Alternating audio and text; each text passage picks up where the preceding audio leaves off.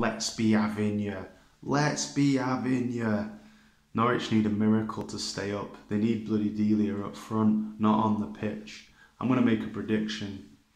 They will get the lowest number of points in Premier League history.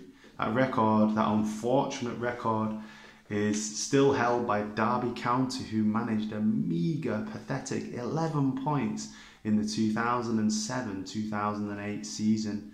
Norwich won't beat that. You don't even know any of their players. Maybe Norwich fans know their players. I know who Cantwell is. I know who Pukki is.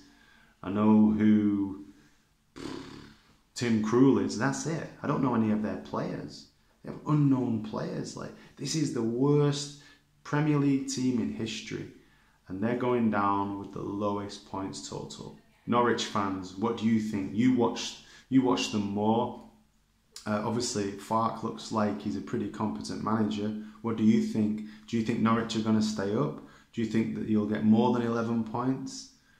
Um, have you got some star players, some young players that I don't know about? Please pop it in the comments because I'd love to be educated. But from looking from the outside, five games, five defeats, knocked out of the cup.